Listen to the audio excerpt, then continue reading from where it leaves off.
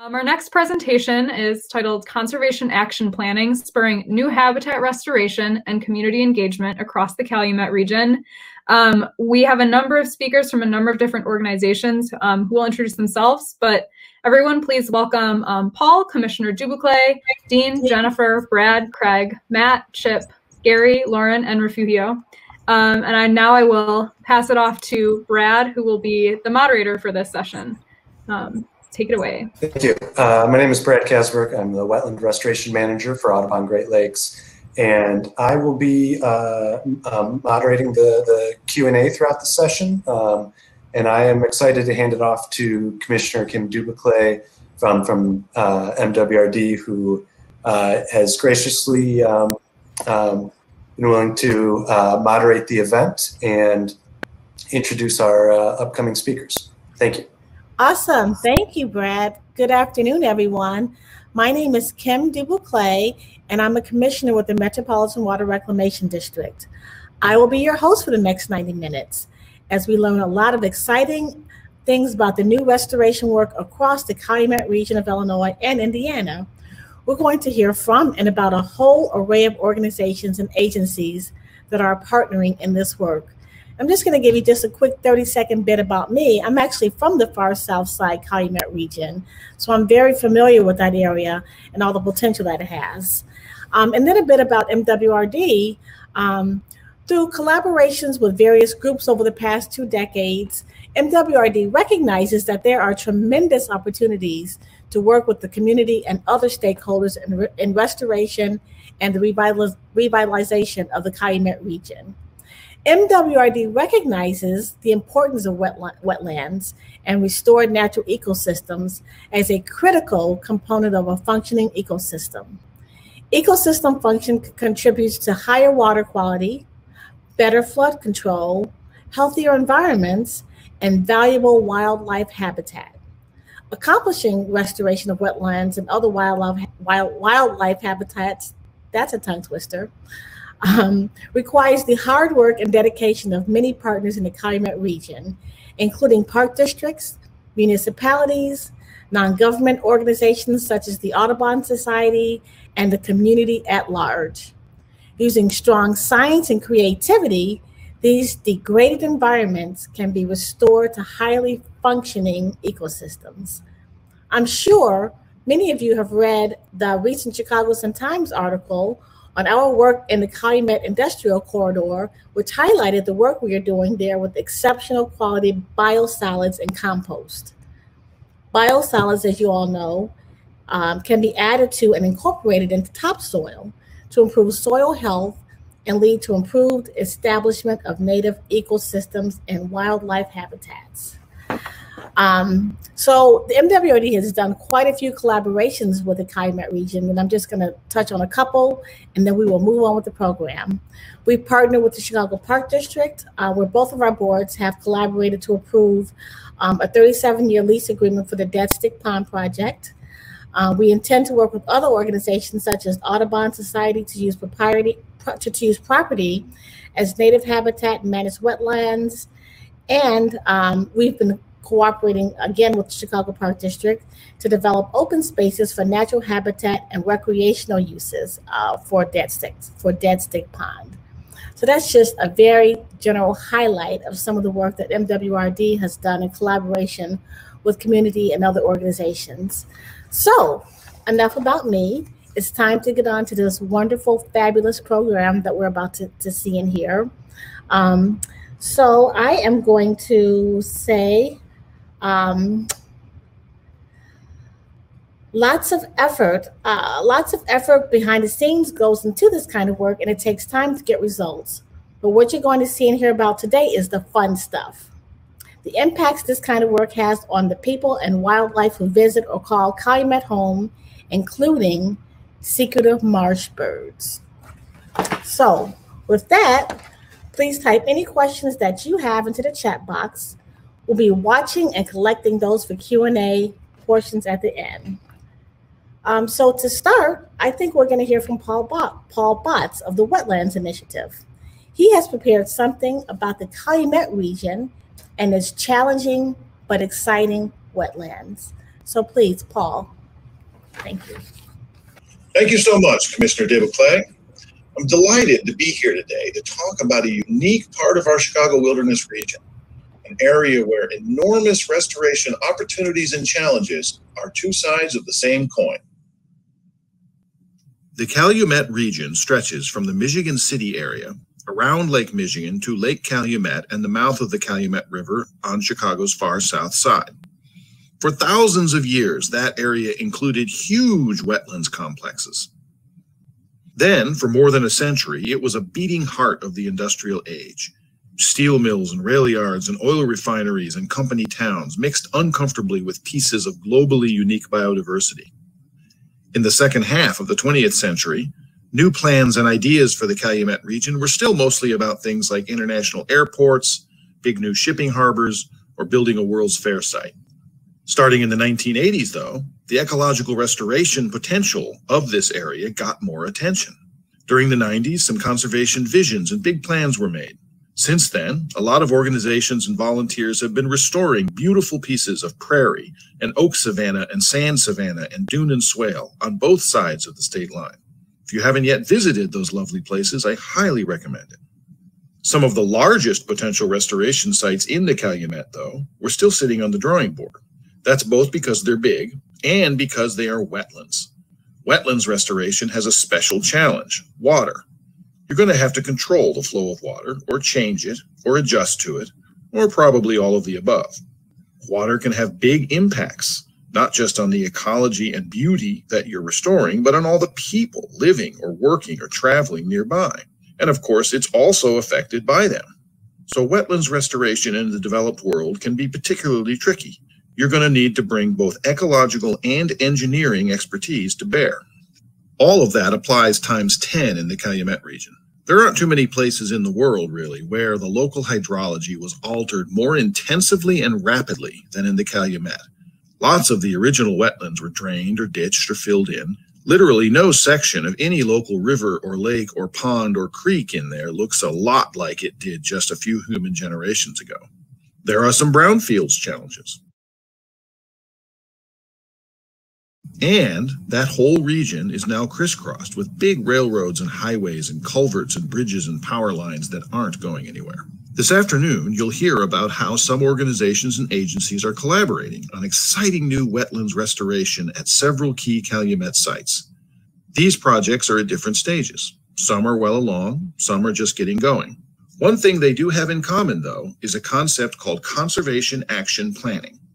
We knew as of, say, five or 10 years ago, that what was needed in the Calumet wasn't a fresh round of strategic plans or visions. Everyone involved in the area pretty much knew where the big restoration opportunities were. You might say we all had mostly the same top 10 list. And based on years of bird monitoring by some dedicated volunteers with some increasingly alarming results, we also had a poster child for urgency regarding these wetlands declines in several species of what my Audubon friends call secretive marsh birds.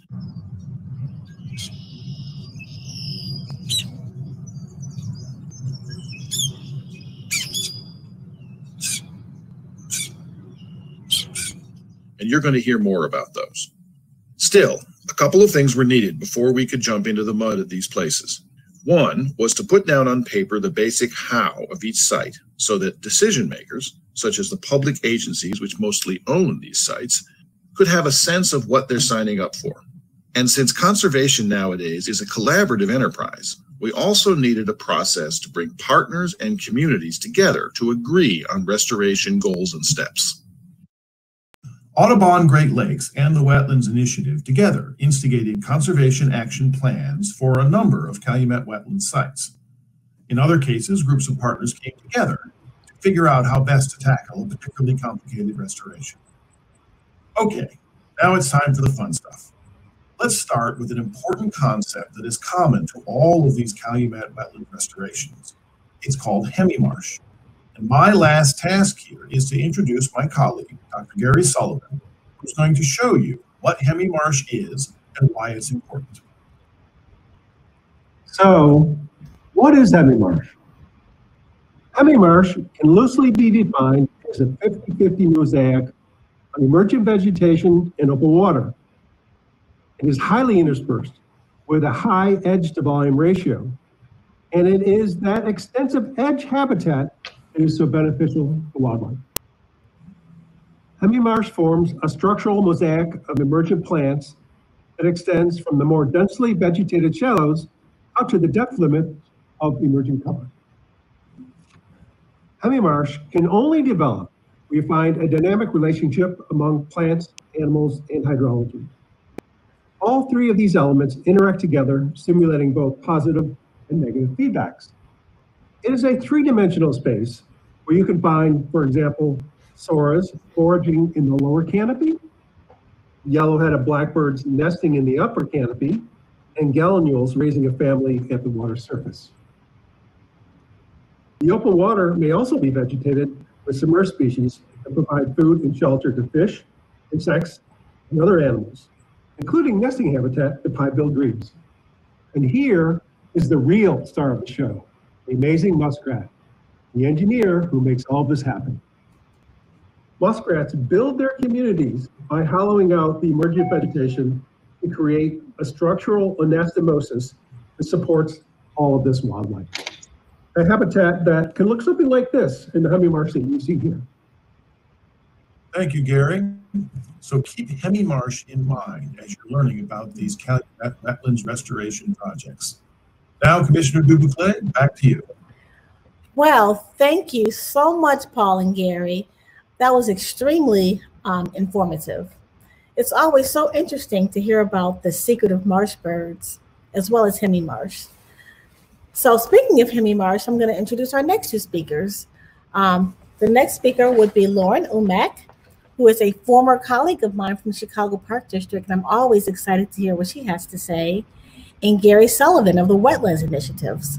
They're going to continue the discussion on hemi-marsh restoration and community engagement at Big Marsh and Indian Ridge Marsh on Chicago's far south side.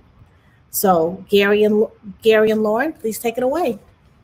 This group includes representatives from a number of key organizations in the region, all of whom recognize the importance of the Calumet region for global conservation, but also for engaging people with nature that is close to home.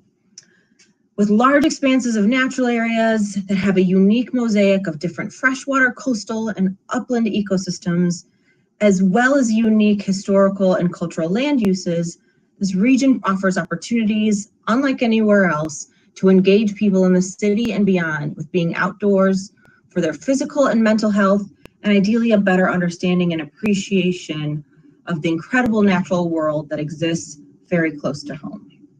So to start us off, Gary Sullivan and I will discuss exactly that combination of ecology and community by talking about Hemi Marsh restoration and community engagement at Big Marsh and Indian Ridge Marsh. Over the past 10 years, there has been really great progress made in restoring marsh habitat at Big Marsh and Indian Ridge Marsh, like Hemi Marsh developing at Indian Ridge. This is true restoration in the sense that both of these sites were once part of a vast marsh system surrounding Lake Calumet. You can see many of these wetlands were still intact in this 1939 aerial image, with some of Indian Ridge already being filled in. Today, most of these wetlands have been lost, along with most of Lake Calumet. What's left of Big Marsh and Indian Ridge Marsh are two of the largest remnants that remain.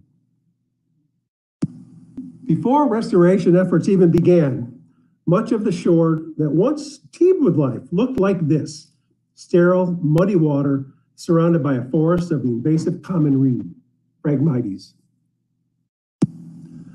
As you can see in this aerial at the north end of Indian Ridge Marsh, Phragmites forms a dense monoculture that suppresses all other species from the upland out to about a foot of water or more. A great deal of the marsh at both sites has been filled in with material that supports little or no native vegetation, such as slag, concrete, bricks, and other types of construction debris, and other material that has not been identified but remains problematic in that it doesn't support plant life. Open access has encouraged some of the public to dump their trash, old appliances, and even their cars, which for some reason they love to burn. I can't begin to tell you about the hundreds, if not thousands, of tires that we've pulled from the wetlands, and many more still remain. Leaching chemicals from both on-site and off-site have left some of the water polluted and uninviting to people and wildlife. It is this history that is both our challenge and our opportunity. To turn around this legacy of abuse, the Chicago Park District has worked with partners that are committed to restoring wetlands for both wildlife and people. Their goal has been to restore a functional hydrology, control or eliminate invasive species, and then clean up, remove, or cap noxious materials. Control limited access to stop fly dumping from the public and to remove construction debris and other waste materials. Finally, to plant and develop native plant communities and actively manage these sites into the future. One way to restore hydrology is through the installation of water control structures, such as the one installed here at Big Marsh around 2013, which allowed water levels to be manipulated in order to simulate a naturally dynamic system. This is the outline of the permanently high open water zone back in 2015. And this is the open water zone in 2018, after water levels were lowered to stimulate plant growth. Notice that the exposed shoreline, now outside the outline, is covered in marsh vegetation. After a short period of time, areas that had been flooded and unvegetated for over 50 years began to look like this. By superimposing the two outlines, we can see a net increase of nearly 50 acres of marsh vegetation, much of which developed into hemi-marsh. And here is a much more primitive water control structure at Indian Ridge Marsh, which has since been modified in order to draw water levels down north of 122nd Street. And these are the sediments exposed after the initial drawdown, which was unfortunately short-lived due to the high waters of Lake Michigan flooding the site over the past few years. But despite such setbacks, we've dealt successfully with Phragmites through both the ground and aerial application of herbicides, prescribed burning to strategically remove thatch and open up the site to management, cap the dumping zones and restore natural topography, and to introduce a wide diversity of native plant species with Park District staff, partners, and volunteers. And we're already beginning to see the fruits of these efforts. This 2020 image at the north shore of Indian Ridge Marsh illustrates the restoration in progress, a developing marsh system that is already attracting the wildlife that once thrived in these wetlands. And from a landowner and planning perspective, how do we decide how to balance conservation and recreation and community engagement goals. So I'll use Big Marsh as a primary example here, but really this process and line of thinking can apply to nearly any site within the region. So first we start by evaluating areas with the highest ecological potential. And of course at Big Marsh, as Gary pointed out, that's the hemi marsh. And while its initial condition was completely dominated by invasive species, we have some confidence that we have the tools to restore the marsh from its initial degraded state to one that supports a diversity of flora and fauna like we see in this image after we install the water control structure.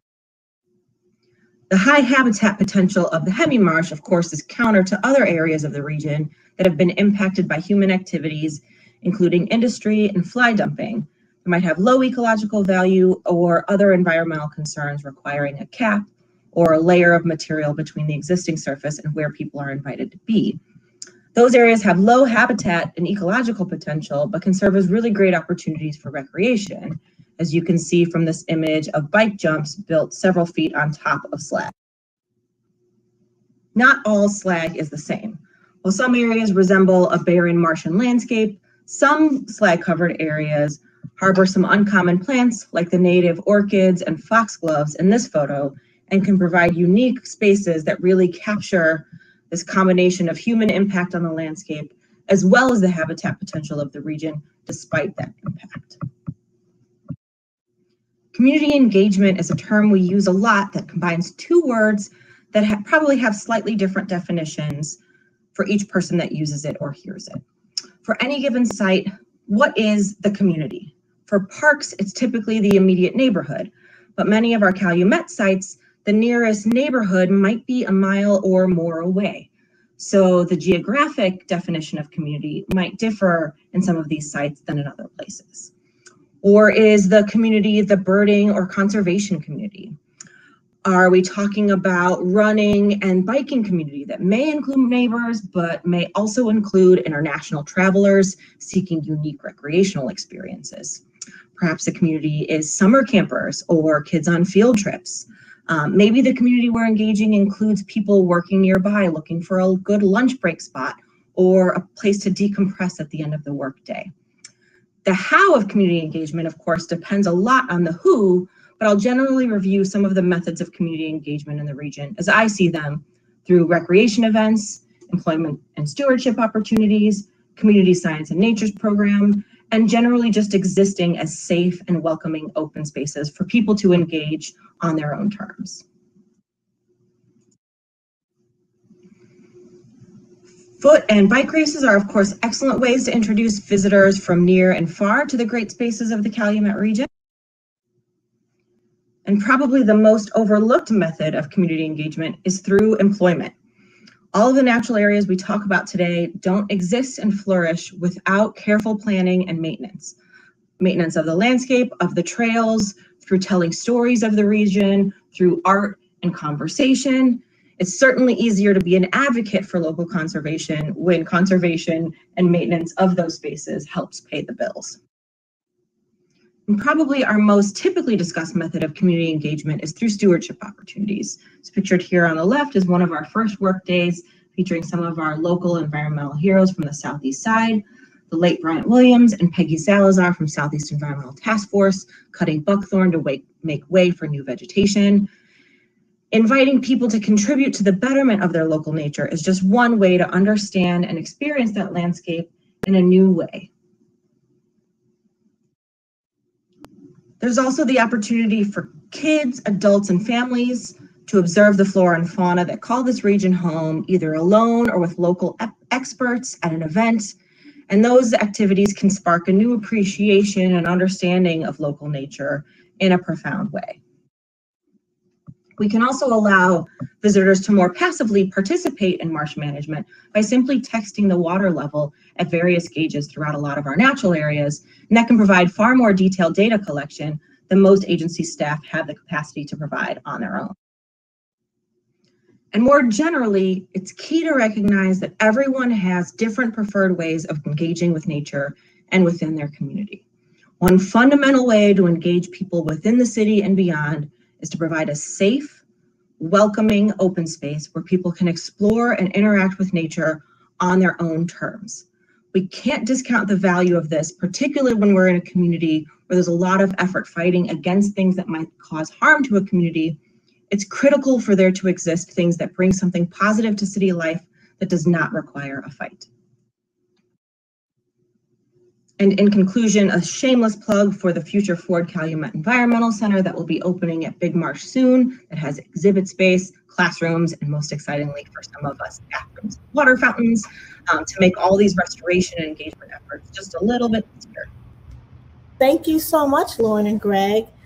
Um, as I said earlier, I grew up on the southeast side, so I used to pass that area pretty much two or three times a week. So it's really awesome to see the restoration that's occurring there. And I commend you and all the people working on it for the work that you all have done. Um, so we will move on to our next presentation. Um, oh, and before we do that, I'd like to remind everyone that if you have any questions or comments, please put into the chat so that we can discuss your questions and your comments at the end. So the next person I'm going to introduce is Chip O'Leary of the Forest Preserve of District of Cook County. Chip is going to describe the restoration efforts at the Powderhorn Marsh and Eggers Grove. So, Chip, take it away. Hello, I'm Chip O'Leary, Deputy Director of the Resource Management Department for the Forest Preserves of Cook County. Our department manages the natural lands in our county-wide holdings. The Forest Preserves owns and manages 4,600 acres of natural lands in the Calumet region. Many of these properties are remnant prairies and dune and swale, which is a mix of upland sand dunes and low emergent wetlands. These preserves qualify as some of Chicago wilderness region's most biodiverse locations. One of the challenges for our conservation and management is the fractured nature of our properties. In this highly developed landscape, physical connections between remnant properties is many times impossible. So we have to look at our lands and those of other conservation groups as part of an archipelago or group of islands in a sea of development. How can we effectively manage each island and how can the islands work together as a whole? Enter the Calumet Compact Alliance, a group of landowners and committed partners who are looking at the Calumet region as a single place. Forest Preserves works with the Chicago Park District, Illinois DNR, the Nature Conservancy, Audubon Great Lakes, the Illinois Nature Preserves Commission, and others to share knowledge about our properties, how we manage them, and to find common goals. Our initial lens has been looking at our properties as habitat for wide-ranging bird species. A plan for management of our wetlands for marsh birds assembled by Audubon Great Lakes and the Wetlands Initiative has helped transform our Eggers Marsh and Powderhorn Marsh properties and put a sharper focus on our Burnham Prairie Preserve. This work complements similar work done on Chicago Park District lands and the DNR's Wolf Lake. Combined, our three forest preserve property projects have restored 315 acres of marsh bird habitat at these key properties. Birds flying north along Lake Michigan's shoreline can now find habitat options again in places they once inhabited. Let's take a closer look at the completed work at Eggers Marsh and the proposed work at Powderhorn Marsh. Eggers Marsh is a 40 acre emergent marsh, what would have been historically described as an enlarged swale, located in southeast Chicago, where 112th Street meets Hammond, Indiana. The marsh was once connected to the larger Wolf Lake wetland complex and lies immediately north of the lake. In the days of the Cold War, the land between Eggers Marsh and Wolf Lake was filled with industrial slag and other fill to create a Nike missile site as part of the Chicago defense system.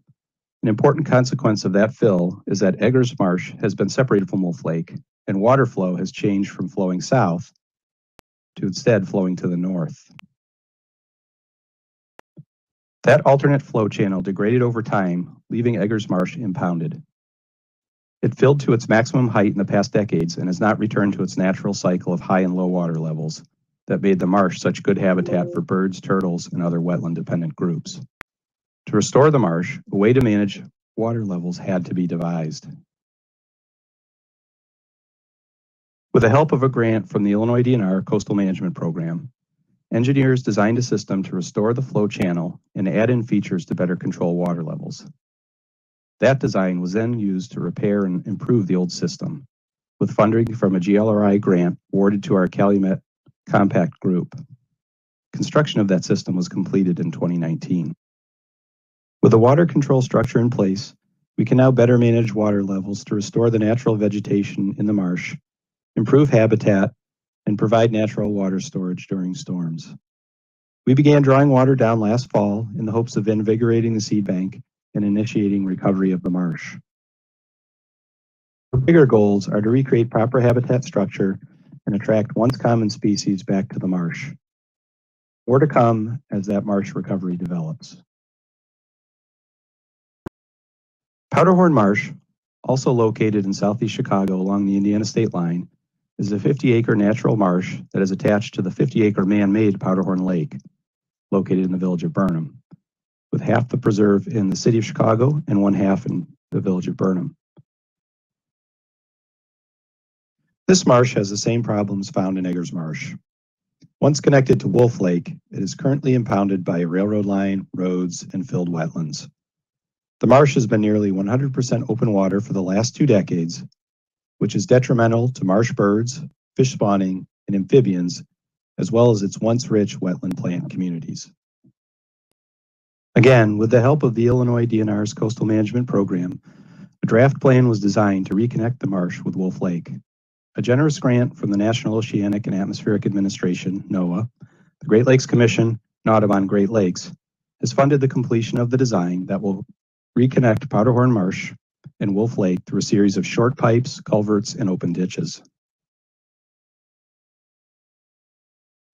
This reconnection will allow fish and other aquatic animals to move between the lakes. It will also allow for lowered water levels in the marsh, again stimulating native plant growth, creating habitat for fishes, marsh birds, reptiles, and amphibians, as well as creating more water storage during storms. It is worth noting that a second focus for the forest preserves has been gaining control of invasive plants and restoring native vegetation to our properties. This has been done in large part through our Calumet Compact Partnership successfully landing grants to fund cohesive work across the Calumet region. We have removed invasives in 11 forest preserves across 1,000 acres.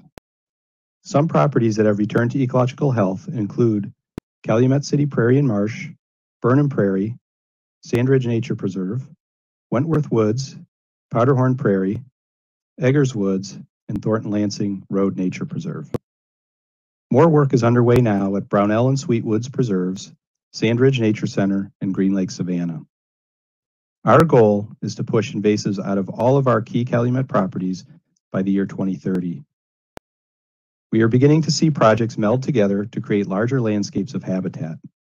We are also able to rely on our conservation partners in the Calumet to build a bigger system together. While we may never rebuild the pre-settlement natural wonders of the region, we are on a clear pathway to maximize nature in the Calumet region.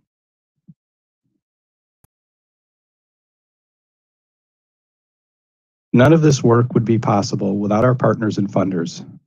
Thank you for listening. Wow, and thank you, Chip. Um, that's just another great example of how important partnerships are to doing such great restoration work. I'm sorry, Craig. Are you, are you there, Craig? Are you next?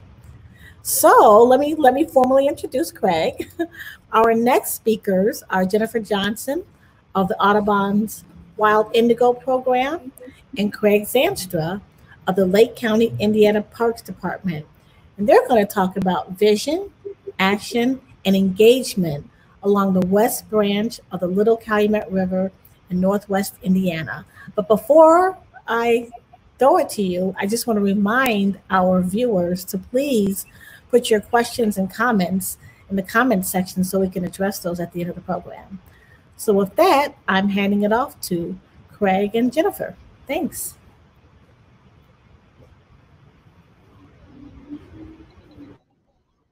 Thank you very much. Good afternoon, everybody. Uh, my name is Craig Zandstra. I work with um, Superintendent of Planning and Natural Resources with Lake County Parks and Recreation Department. Um, Lake County Parks uh, um, has been uh, began in 1968. Um, we manage about 8,000 acres um, between Lake Michigan and the Kankakee River. Um, uh, this uh, partnership that we're involved with, uh, the West Branch uh, project. Uh, we became partners in this uh, several years ago at its, at its inception and look forward to the coming years. Um, we're happy to work with the partners. Uh, we've had long-term uh, plans, Lake County Parks has, to, to help do management in the Little Calumet River corridor uh, and to provide recreation and open space and habitat for the citizens of Lake County to enjoy. if we can move forward on our there we go. Uh, you can see here some of the partners that we have um, in our partnership. Um, uh, moving forward, uh, here's our open space uh, vision plan for Lake County Parks. Uh, you can see in the north Lake Michigan, the south uh, Kankakee River. along the top, we have number three and four Lake Etta County Park. is up along the Borman Expressway 8094. number five is our Three Rivers County Park. Um, and that's actually up near I-65 and 94, the intersection. Uh, so it helps gives you an overall view of where these sites are located along with the Little Calumet River corridor um, in the northern part of the county.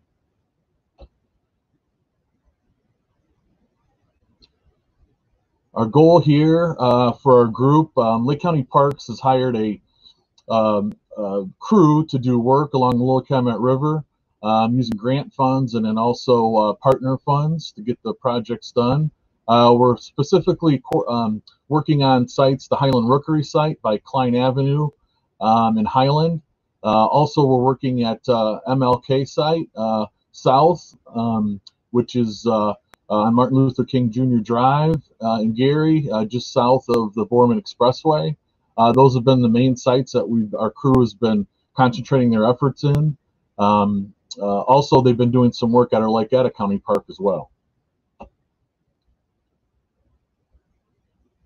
Um, here's another map showing um, some of the sites again. Um, uh, a little better map. Uh, the Highland Rookery again to the west. Uh, Lake Etta County Park here is shown, um, which is the base of operations for our crew.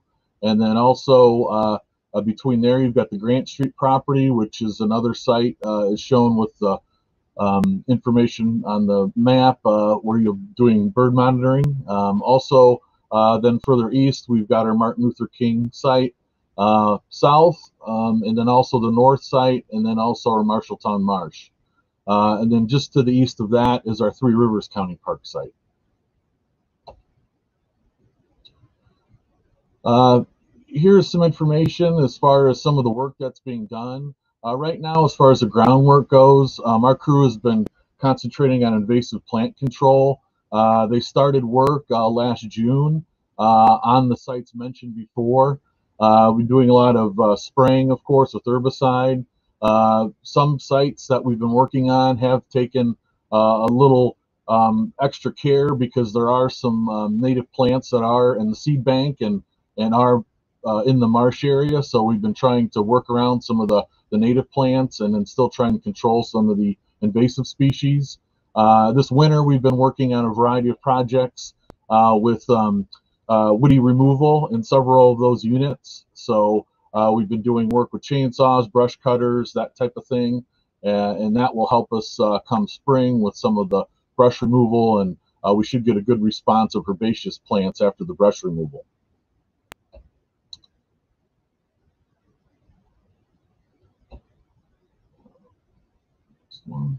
Next slide. Okay, uh, Here's a, a small map of our Lake Etta County Park site. Uh, just a blow up of it, you can see the Borman Expressway to the north.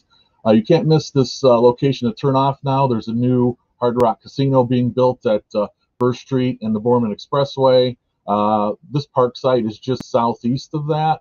Um, we've got frontage along the Calumet River with a uh, for access for boaters and canoers, and then also for fishermen. Uh, there's a trail that runs along the Little Calumet River levee for people to use. Uh, and then our crew that does the work along in the marsh areas, uh, they're based here at Lake Etta County Park at the maintenance barn. Uh, we've also got a banquet hall, a pavilion, picnic shelters, and some natural areas on site that we have been managing. So uh, there's a little bit of everything at this site, uh, you know, the playground and so forth. We do have some acquisitions we're working on between 29th Avenue and the Borman Expressway. Uh, we're picking lots up in there. There's a lot of wetland and remnant savanna, so we're working on that as well. Uh, moving along, uh, I just wanted to go into some uh, aerial photos and also photos of the, uh, uh, starting at the um, Highland Rookery site. You can see here we've got the outline of the um, work that was done by contractors this last year, the path that they did controlling some of the Phragmites and other invasives in the marsh units. Uh, from there, we'll move into some other photos that uh, just stretch from uh, west to east along this uh, um, Highland Rookery site. You can see there used to be a lot of cottonwood in the site years ago, and because of high water levels, a lot of those have since died. And the rookery is the Highland Rookery site because at one point there was a uh, Great Blue Heron Rookery here, um, and uh, there was, I believe, one time about 100 nests in this unit. since then, because the trees are gone, they've moved to uh, an area just south of Purdue Calumet, uh, right on the Borman Expressway. So if we want to just move the slides, uh, continue and move them further to the west, you can see some of the work that's been done along the bike trail. Uh, this bike trail does see a lot of use from Highland residents and then also residents in Hammond and Munster. Um, and they uh, go back and forth all the way to Klein Avenue. Uh, right now, there's a gap at Klein Avenue, so you can't bike past Klein Avenue by the railroad tracks, but eventually that connection will be made, and then people will be able to bike all the way into Gary, and then hopefully all the way to Three Rivers County Park. Um, continuing to the west with the photos, uh, you'll see the areas here that were treated. Uh, one of the large, uh, one of the large open water hemi marshes that's in the middle of the rookery site. Uh, it's a good place to see a lot of uh, uh, marsh birds. And then continuing on to the west, um, to the east, you can see uh, some more of the area that's been treated along Klein Avenue. Um, and then continuing on, um, we are looking back now towards the west uh, and then seeing some of the areas that were uh, controlled this last uh, growing season. Uh, here we're moving into the uh, uh, Martin Luther King um, South site. And you can see here is the west side entry off ML off, off the access from the west. And then we'll just move further to the east with the photos here and basically just showing some of the areas that have been, again, uh, done with contractor work and then also our crew work. Uh, this photo, because it's later in the year, uh, doesn't show a lot of uh, herbaceous stuff underneath, but this corner here, especially in the southeast corner of this unit, um, has some nice sedges and some other uh, herbaceous or forbs in it also. And so we've been trying to have a little lighter touch in this area to try and uh, preserve some of the uh, understory that's uh, native and then uh, work on some of the uh, Phragmites and other invasives that are above and around them. So it's been a little bit of a challenge, but our crew's been doing a pretty good job of it. Now here's another shot of some of the marsh closer to the Borman Expressway looking back south. Uh, and this would be over some of the areas that were treated this last uh, growing season. Uh, here's another shot again looking uh, further to the uh, west from the east. this area actually was underwater the previous couple of years and this last year with the drought we had really dried out the marsh and allowed for a lot of growth to come back in. So uh, when it floods uh, again here after the next uh, large rain, we'll probably see a, another response here in the unit and maybe good for some of the birds and other wildlife that need some of that vegetation. Uh, here would be our um, Three Rivers County Park. Uh, Three Rivers County Park is about 150 acre park um, in the city of Gary and Lake Station. Uh, the yellow part in the middle, we're right just on the um, east side of I-65, south of the uh, Borman Expressway, and also there's some lots north of the Borman Expressway that we've been acquiring. Uh, this site's really neat, and just in the last um, uh, six months, uh, the county parks and also Calumet River Basin Development Commission teamed up and purchased a, a 70-acre tract from the city of Gary, uh, the former Gary Schools property. Um, this property uh, is going to help make this site a really neat park in the coming years. Also, uh, provide for future access from subdivisions or neighborhoods in Lake Station, and then also allow us to connect uh, neighborhoods in Gary, specifically the Marshalltown neighborhood and our Marshalltown Marsh project. Uh, so Three Rivers will be a natural uh, uh, connection between the two. right now, we have several projects going on in the park that's really neat and will allow for more public access in the future. Um, uh, the site itself, um, we're, we'll moving forward here. We've got some photos. We can just take a look at a couple of the projects that are going on. Um, here we go. Um, we're working with the Locale Commission, and uh, there was an old dam that was built uh, um, about 1920, I believe, on Deep River. Uh, this dam uh, obviously was beyond its uh, lifespan. It was a sheet pile dam and uh, it was a problem for potential, um, you know, failing someday. So it was replaced recently. It's in the process of being replaced, and we've got a company working uh, with some consultants, the Locale Commission, and they're actually rebuilding the dam, and we're doing it in a way where uh, there's a series of riffles and also um, stages that are being built along this stretch to replace the sheet pile dam. this is actually looking um, north towards uh, the expressway, and you can kind of see the coffer dam there in the distance. Uh, there's actually a diversion channel right now rerouting Deep River around the dam area. Uh, this new dam will allow for fish, amphibian, reptiles to pass through. Also will allow for paddlers and canoers and also people enjoying the river. They will be able to uh, pass by also with this new design. Uh, the next couple pictures we have here, just moving um, kind of in the new dam area, looking more now to the south. Uh, you can kind of see um, some of the work being done. You can see the uh, uh, the coffer dam um, uh, further up there, and you can see Deep River above the top of the picture. Um, that's where the diversion channel starts, and the river is being diverted around it. This is the company rebuilding um, with different boulders. Uh, also, they're putting fishing access in. um, and other amenities so the public can enjoy it and then also access the park. Um, we've got one more photo next that shows uh, kind of the same shot, but a little further along in the process. Um, you can see here the concrete's been poured and, and also the, uh, the notches are in the areas to allow for the water to pass and then also for the, uh, for the amphibian fish reptile passage and then also for the canoe kayak access through there. also, you can see the bridge sitting there to the left and the bridge will be across the river and that will allow the access between uh, Lake Station and Gary and then also allow access into the park from the surrounding neighborhoods. Um, the last photo we have here um, is uh, this is uh, going to be a boat launch that's being put in. You can see here looking back towards the Borman Expressway. In the distance, you can see the dam being rebuilt. Uh, this will be where we'll have a new boat launch and public access um, uh, in the, along Liverpool Road. And uh, with that, that ends my presentation. Thank you. Well, thank you, Craig, and thank you, Jen, in the background. I know you're back there navigating the PowerPoint presentation. Uh, so thanks to all that you all do. Oh, uh, um, uh, Commissioner Dubuclet, Jen, uh, Jen's presentation will oh, continue okay. here. Yeah, sorry about oh. that. Hi, Jen. Please continue.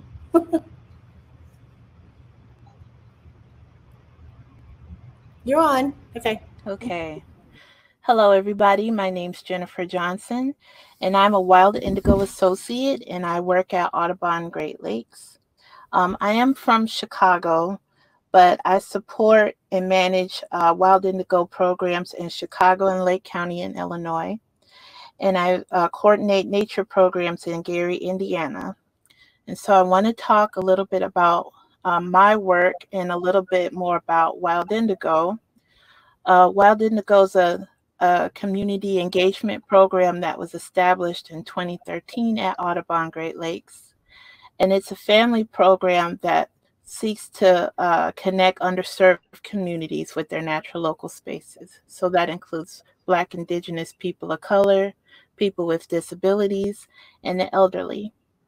And currently, the program is in four states uh, Illinois, Northwest Indiana, where I, where I work uh, primarily, uh, Detroit, Michigan, and Milwaukee, Wisconsin.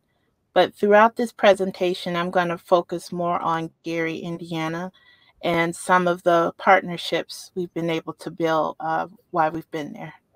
On the next slide, just a little bit about Gary, Indiana. Uh, previously, it was part of the heavy steel mill industry, but over the years, the industry declined and with the industry decline, it exacerbated uh, environmental problems like flooding, fly dumping, and it made a lot of the, their nature spaces inaccessible. On the next slide,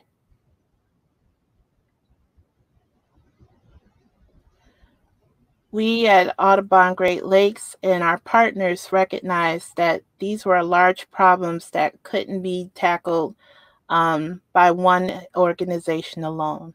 So that brought into play the Little Calumet Project, which was made to um, restore wetlands along the levee system in Northwest Indiana. Many of our partners have already spoken today, but it also includes uh, Lake County Parks, the Wetlands Initiative, the Nature Conservancy, and the U.S. Uh, Army Corps of Engineers um, the U.S. Army Corps of Engineers has been essential to helping us plan and build um, better ways to restore the wetland. But even with all these great organizations together, we still needed the support of the people and local governments. One important uh, relationship we has, have is with the City of Gary's Environmental Department the U.S. National Park Service has been uh, great, um, providing space to have programs. Um, this was pre-pandemic, and also a budding relationship with the National Federation of Block Clubs. They're an organization that's dedicated to neighborhood beautification, and the Marshalltown Block Club uh, specifically, as our project runs through the neighborhood of Marshalltown. I want to talk a little bit about this event on the right here. This was from a biking and birding event. Um, this was a little bit before the pandemic. And biking was great to exercise our bodies, and we would bird together as a way to enjoy the environment and enjoy um, the peace and calm that can come with birding. But we noticed something as we were on our journey along the Gary Green Link uh, and going along the, the Grand Calumet River. We didn't see very many birds or very much wildlife. And it was a reminder of those environmental issues uh, that needed to be addressed. And so we recognize from that program and other programs, yeah, that's the right slide, um, that it was for a healthy landscape, you needed uh, healthy biodiversity. And with the Little Calumet Project and with coming stewardship days and other modes of engagement, we hope that it can that uh, Gary and more of Northwest Indiana can be a healthy heaven for wetland birds, and of course provide a healthy, safe space for people. And on the next slide, healthy relationships are the key to tackling large environmental problems. And with visible improvements, they uplift up uh, to the landscape. It uplifts it of uplifts the people and it gives them hope. And it also gives them um, it, it also gives them inspiration for the next uh, conservation leaders. There we go. So thank you so much. And I certainly appreciate your time. Well, thank you, Jen and Craig. And I apologize. I, I uh, missed that you had your own separate presentation. But thank you for all your hard work. Um, and let me just remind the audience once again to please put any questions or comments you have in the comment section so that we can um, answer your questions towards the end of the program. And uh, our next presenter um, will be Matt Mulligan of the Nature Conservancy. He's going to describe two brand new restoration projects. One is called Getting to Go at Square Marsh, and the second would be Dead Stick Pond, which is something I mentioned earlier. So with that, Matt, please take it away. Good afternoon. My name is Matt Mulligan, and I am the Urban Biodiversity Program Manager with the Nature Conservancy. Today, I'm going to talk with you about two potential future restoration projects in the Calumet region, Square Marsh and Deadstick Pond. Both sites are located just off of Lake Calumet on the far south side of Cook County, indicated in the orange box below. This region has a history of industrial use, which previously led to the dumping of slag on the landscape. Slag is the remaining byproduct of the metal ore process, seen in the image above, leading to essentially a really hard landscape that few plant species can grow on. Both Square Marsh and Dead Stick Pond have a history of metal byproducts being dumped on the site. We will first look at Square Marsh, which is owned and maintained by the Illinois International Port District and located west of Big Marsh and surrounded by the Harborside Golf Course on the north and west side, Stony Island Road on the east, and a narrow berm along the south separating it from Lake Calumet. It is a 140 acre site in size and has a history of industrial dumping as previously described.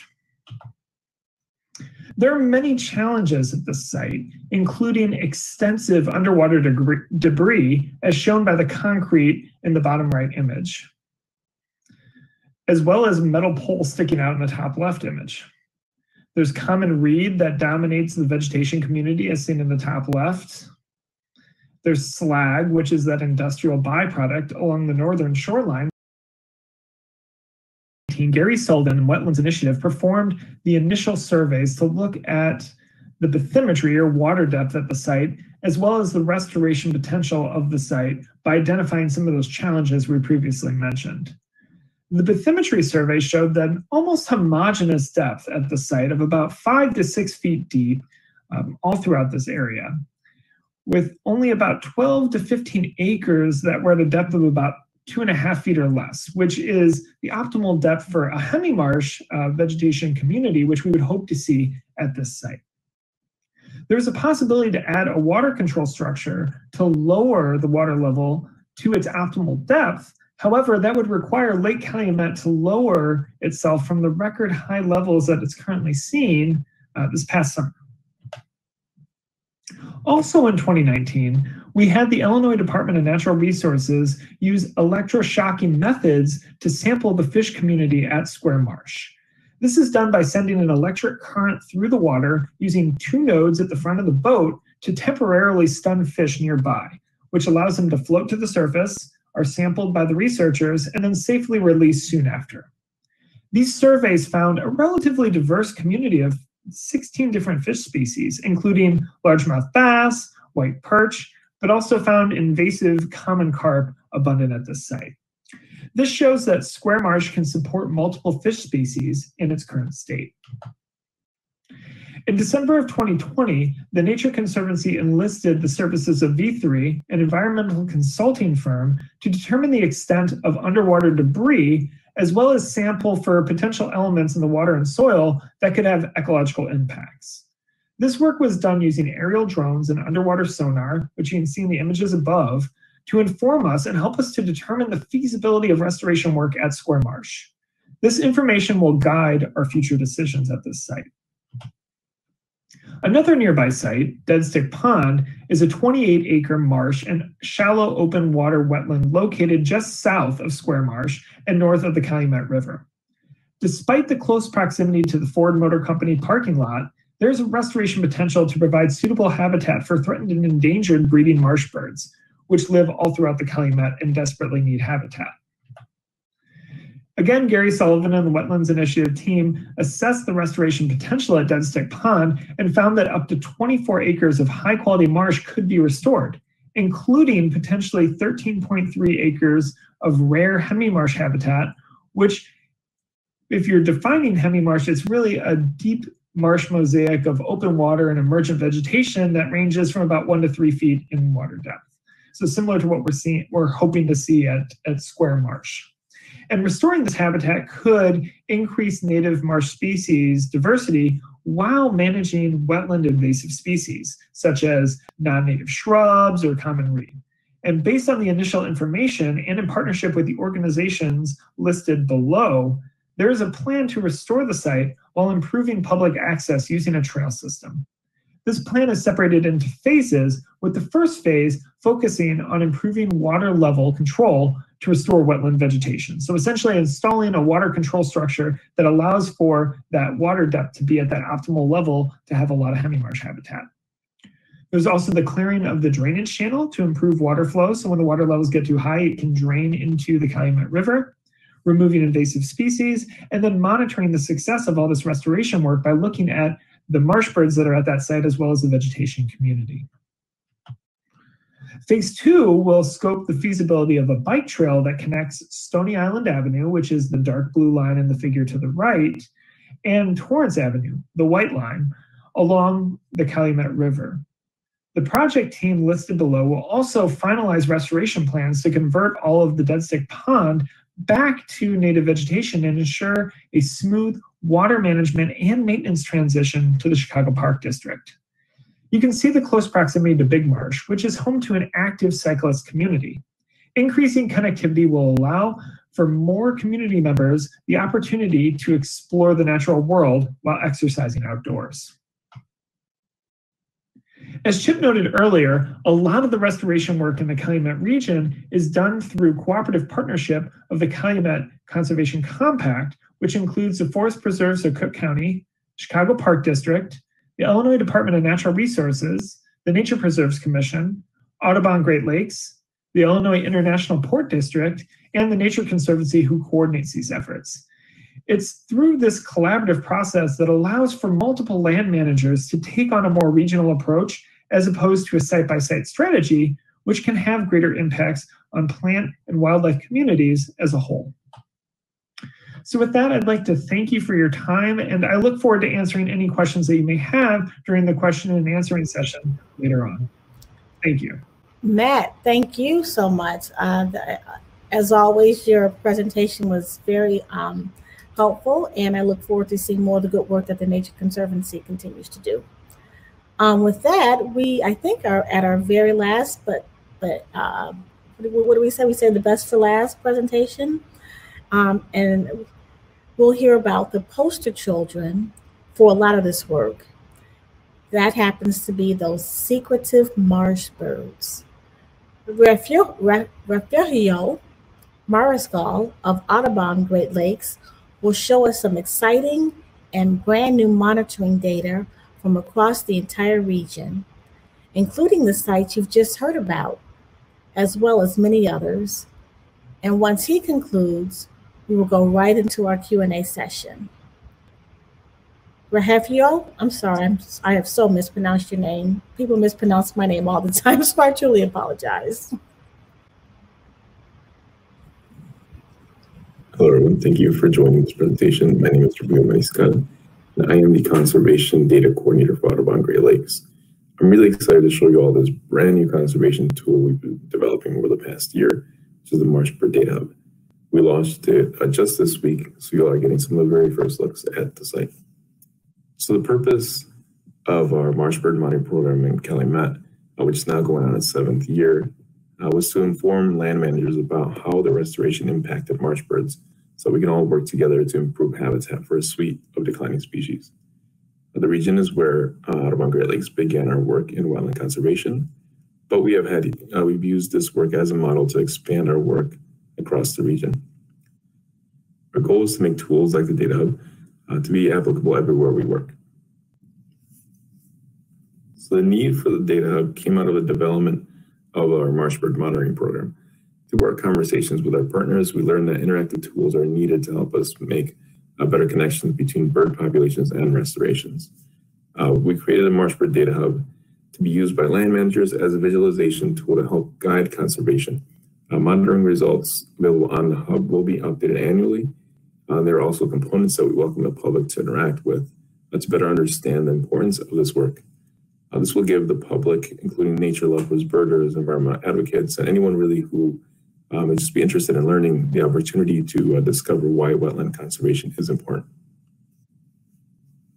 So before we take a tour of the website, I'd like to announce that the Marshbird Data Hub is now live. And it can be accessed through the Audubon Great Lakes website, which is gl.audubon.org go to the birds tab on the menu bar, then Marshbird Monitoring Hub, and that'll take you to the landing page uh, where you can open the data. And here it is. Everything you see on this main page is accessible to the general public. Uh, we see the menu bar up top, the links to different sections. This last section here, um, titled Resources for Land Managers and Monitors, will take you to a separate page that's restricted and houses data and tools developed only for land managers and monitors. And I'll go into more detail on that page and how to gain access to it a little bit later. So the first two tools we come across are ones that uh, serve more as an introduction to the Marshbird monitoring program. Uh, the first tool being a guide of the 18 species we monitor for. And the second being a dashboard that displays information on each site. So here we see a description of Big Marsh, along with a picture, and uh, readings from our, the water gauge installer that we do monitor. Now, at the heart of this entire program really is our monitors. Uh, without them and their willingness to be ready at four in the morning uh, to collect this data, this hub really wouldn't be possible. And as you can see, it's a lot of work. Uh, the 48 monitors that we had to date have spent um, more than 1,500 hours monitoring 39 routes. And it's an incredible amount of work that we didn't want to go unmentioned. And we are looking for more volunteer monitors for a couple of sites. So if you're interested, feel free to complete our volunteer interest form by clicking this button here, or you can also email me directly. And now we'll make our way to the final section the main page, which is the data visualizations and tools, which I think is really the most exciting part of this website. Uh, the first thing we see here is a link to the resources for land managers and monitors page. Uh, and again, this is this page is only available to those who have uh, granted access. Land managers and monitors can request access by filling out the form uh, with this link here. And under that is the marsh bird occupancy dashboard, which displays the likelihood of each marsh bird species being present at each site. And I'm going to go over that dashboard in greater, greater detail later. So before we dive deeper into it, let's head over to the uh, Land Manager and Monitor Resources page. So the first thing we see here is a brief description on the intended use and what's available for land managers and monitors. Under the Land Manager section, we have the detections dashboard, which displays the detections of our primary focal species from our monitoring. And we'll look at that as well uh, in greater detail later, in just a few minutes. Next are some more resources such as annual marsh bird reports that can be downloaded. And finally, a data request form. We know that while the dashboards are useful, we understand that some of our partners might have more specific questions about their sites that aren't necessarily addressed within uh, the tools that we see here. So we created this form to allow land managers to request some of the data that we gathered uh, throughout this hub. And now the final section of this page has resources such as data sheets and manuals that monitors will find useful. So now that we've done an overview of pretty much the whole site, uh, let's look at a couple of these tools more closely. These are ones that I'm incredibly excited to show you all, and I think you'll find the most interesting and useful as well. First up is the occupancy dashboard. This one can be found on the main page. This dashboard displays the likelihood of a marsh bird species being present at each site on a scale of zero to one. So zero meaning a species is not likely to be present, and one meaning that a species is very likely to be present. On the top here, we have selectors, which we can use to narrow down by region, site, year, and species. On the left, we have a brief description and an indicator showing the average occupancy based on our selections. The bottom is a graph representing occupancy by species and year, and on the right is a graph showing occupancy estimates at each site. The map in the middle displays the, displays the sites with darker green colors representing higher average occupancy estimates for all species in all years. So one thing that really stood out to me while I was looking through the data here and setting up this dashboard is that although the data for the past 25 years has told us that marsh bird populations have seen an incredible decline in the Great Lakes, in places like the Calumet region where we've built partnerships and our partners have done incredible work restoring wetland habitat, we're really starting to see some signs of stabilization and even recovery for some of our species of greater concern. And we can see that here in this bottom graph.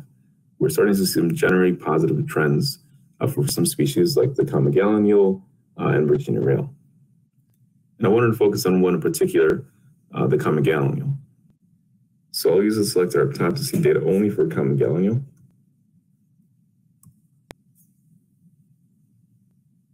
You'll see the indicator in the graphs change. And maybe I want to focus on one particular re region. So I'll select uh, Lake Calumet.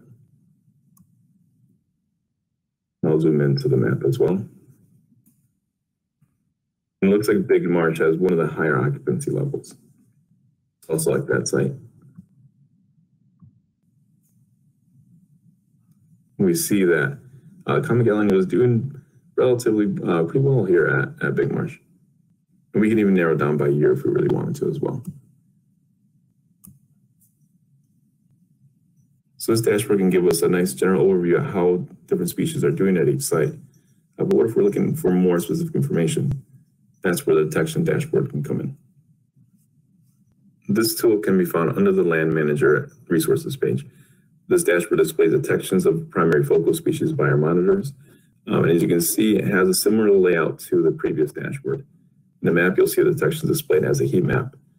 Uh, and as you can see, I've already selected and zoomed into Big Marsh and also selected a few species. We can see that the areas of the park that the marsh bird uh, to prefer are these highlighted in the, the brighter yellow. And I'll zoom in a little bit more. Uh, and now the heat map is replaced uh, by points that show the locations and species detections. When I selected Big Marsh, uh, it showed me detections for the entire park. I can also select uh, specific areas by using this tool in the upper left-hand corner. Maybe there was some invasive, invasive removal done uh, in this particular area here. Uh, so I can isolate that area by using that lasso tool. As you can see now, everything within that selection is now highlighted and shown on the graph here. We can even narrow down this uh, by species. So I'll maybe just choose only common gallinule this time. And you can see only common gallinule show up here. Maybe I just want to see uh, the common gallinule detections in 2020. So this is really an example of how land managers can use these tools to gather more precise information on their sites. I think this is probably the one I'm personally most excited about. And that was a pretty quick overview of the hub. And I encourage everyone to visit the sites themselves and interact with different tools. But before I wrap up, I'd like to thank our partner organizations that you see here on the screen, and also my colleagues, Stephanie Belke, Nicole Minadio, and Dr. Sarah Saunders, who all contributed to the creation of the Marshbird Data Hub. And we encourage everyone to explore the Data Hub, which is now live. Uh, feel free to contact me at the email you see here on the screen uh, with any questions or comments regarding the Data Hub or our Marshbird monitoring program. We anticipate adding more resources and tools as our monitoring continues, and we learn more about the needs of our conservation community here in the Calumet region. Uh, so any feedback really is is more than welcome. Uh, we hope you get a lot of use from the Data Hub and that helps uh, develop into a tool that helps us uh, as we continue our partnerships and uh, work towards some ambitious wetland conservation goals. Thank you. We are just uh, running a little um, a little behind. Um, so I think I'm was supposed to send it to Brad, but there's been a suggestion that we just go straight to Q and A in the breakout session. So Brad, I don't know if you wanted to comment on that or not. Uh, yeah, that's that's a that's a good point. We have until three fifteen here, right? Is that mm-hmm. that's how this session is set up? Um, why don't we uh, take the Q and A session to three uh, three fifteen, and we can go ahead and post that session link. Um, so we'll take um, in the now. chat. We'll take what we can now, and if we need to put some over to the chat, we'll do that. So take it away, Brad. All right. Thank you very much, Commissioner Dubuclet. No, thank you. Uh, all right. So uh, I have seen a few questions um, through the chat. Uh, one of them I wanted to touch on. Uh, I think this is a good question for either Gary Sullivan or uh, or Craig Zandstra, uh, and that's regarding the work going on in Lake County. can we all? Um, can you share with the group uh, the nature of that project uh, uh, regarding the U.S. Army Corps work that's going on and, and what that means for the for the for the scale and scope of restoration along the Little Calumet River. Um, so if I could go ahead and add Gary or Craig to the to the panel. Um, sure. Um, yeah. As far as the size and scope of the project with the um, Army Corps. I think that's going to help make this project in the coming years. Um, uh, having the Army Corps involved, especially with the Little Calumet River, is uh, important because we've got uh, the flood control project that's part of uh, the main part of the project. And so uh, our habitat and everything else is coming about um, after flood control number one. So, uh, so having the Corps involved, helping us with the water control structures, possibly some remeandering, I think is great. So. Thank you. And, and Gary, uh, your screen sharing, I don't know if you want to uh, add anything. No, I think I think Craig probably wrapped it up pretty good. Uh, we have essentially two sites which we're actively going to be working on the coming year, where we're going to be installing water control structures to essentially restore more natural hydrology in these uh, at MLK South and at uh, Heron Rookery. So these are both areas that haven't really had any kind of natural hydrology in well in, in many many years we don't we don't even know how far back that goes but if we can restore natural patterns of hydrology uh, and marry that to the invasive management work and plant installation we're going to be able to get a type of marsh developing and, and maybe hemi-marsh developing there that would be great for supporting lots of marsh birds thank you uh, all right so there was another question uh, early on in the chat. Uh, um, this is a joint, jointly Audubon presentation, so of course we were talking about birds, but there were some questions regarding hemimarsh and its relationship to um, to uh, uh amphibians and reptiles. Um, uh, I think Gary or Lauren, uh, if you would want to take that presentation or, or take that question. Okay, yeah, no, there's there's a lot of different uh, herps if we're if we're really looking at herps that uh, really rely on hemimarsh. You know, there's certainly lots of frogs. You can imagine any kind of frogs that live in these systems that would want to uh, take advantage of a hemi-marsh type system. But also there's a lot of snakes that feed in wetlands. There are all the turtles that you might find out there. They use these hemi-marsh systems for uh, as both a place to go hunt for food and to get out of the water and bask and warm up in the sunshine. Uh, other mammals use it. I mean, we obviously talked about earlier about muskrats, but other mammals that wind up using marsh systems use these places and um, as, as, a, as a place to hunt and rest and get away from predators. So um, almost at all different levels of the animal community, the, the hemi-marsh is going to provide a a, a, a bigger, more extensive type of habitat uh, where they not only, you know, it's good for them, but it's also good for the other species that they rely upon. Thank you. Uh, there, there's another interesting question that I've been racking my brain who to ask it to. I, I think uh, Matt Mulligan, um, this this question's for you. Uh, are there private lands that are still in private hands, no uh, rhyme intended, that can be placed into conservation practices within the Calumet. Um, so looking to fill in from you know the the extensive amount of, of public um, restored land. You know, are there are there uh, opportunities for for private engagement in conservation work? Yeah, that's that's a great question because you know we're always looking to expand and really try to incorporate more natural landscapes into the area, both for the health benefits that it provides to us, but also all the benefits that it provides to the natural world. And uh, you know, in my presentation, we had talked a little bit about um, you know Square Marsh, and that was owned by the Illinois International Port District, which you know obviously is, is a government entity and uh, you know a lot of folks within the Calumet Conservation Compact. So some of the folks that we listed earlier, Cook County Forest Preserve, Chicago Park District, Audubon, uh, and, and, many others. We are working with the Illinois International Port District, and they actually joined our compact as a way of making a commitment to you know conservation, to you know setting aside and trying to work with some of their land in order to make it uh, you know much healthier for both wildlife and for for humans as well. Uh, so, you know, we're always trying to have these conversations with different landholding entities because we think that there's a way to collaborate and work together in order to make this landscape, you know, much uh, safer and healthier for all of us. Great, thank you, thank you.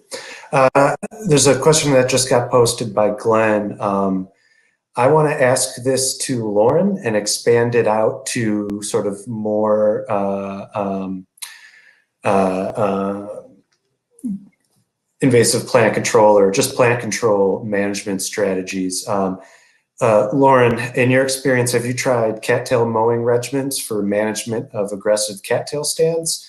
Um, or have you, um, what are some of the innovative measures um, you've taken or um, your team are considering for wetland restoration within the Calumet? Okay, I will. Uh, I'm not seeing her jump on. I will. Um, I'll go ahead and give and give an answer. Um, in in the Calumet region, uh, we have found that marsh birds uh, uh, benefit from cattail stands to a, to a point where we uh, we're we're still not in a point in this restoration where we can really be bothered by extensive cattail stands with um, in wetlands in the Calumet region.